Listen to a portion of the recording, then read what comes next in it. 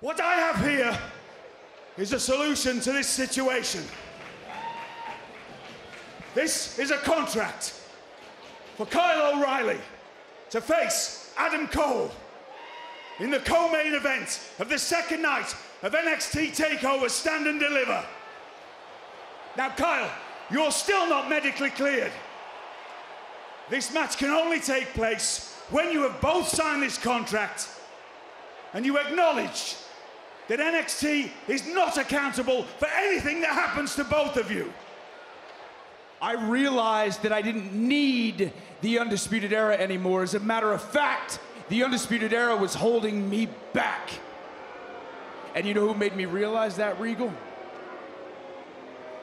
It was you, Kyle. I mean, for God's sakes, I bought into this BS that, that maybe the Undisputed Era was about brotherhood.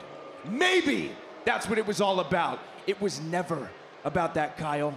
I, I, I sat back and I watched you challenge for the NXT Championship not once, but twice. Then I watched you fail not once, but twice. And what do you do? You try to befriend Finn Balor?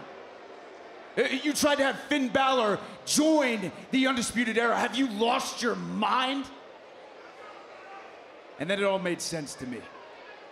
It all made sense because deep down in your core, you are nothing more than a lapdog. You are a sidekick. You are someone comfortable being on the sidelines. And that is not me. That is not Adam Cole. I am the greatest NXT champion there has ever been, and I will never sit on the sidelines because I am nothing like you. You lost sight. You lost sight of what this was. You lost sight of what the Undisputed Era was. It was never about friendship. It was never about a brotherhood. It was about being the best. And damn it, you were looking at the best. Do you think the Undisputed Era works without Adam Cole? I'm the one who led the charge.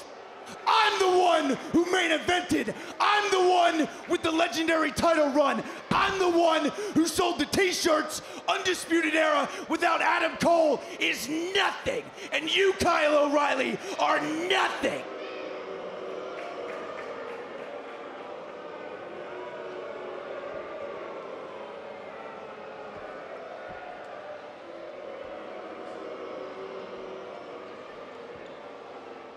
We've known each other for a long time. At least I thought we did. When we first got here, we didn't care who we stepped over to succeed. Four hungry pipples determined to take a spot at the top of the card where we belonged. You could say we were shocking the system, but we were making a statement and we didn't give a damn about whose expense or who was footing the bill.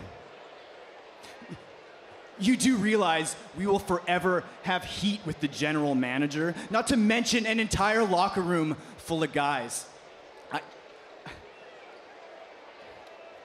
I grew up, man. I started to take some accountability for my actions. We became stars, but only one of us became a better person. I sold my soul for the undisputed era, and I want it back. You are an insecure that used his best friends, and that is so, so cold, and somehow I'm not surprised in the least. But let me tell you something, Cole. Not one single person will be surprised after I beat you into a pulp. And for the first time in damn near four years, I sleep like a baby. Go ahead, sign that death warrant. Sign it. Sign your death warrant, Kyle. Sign yours too. Oh, come on!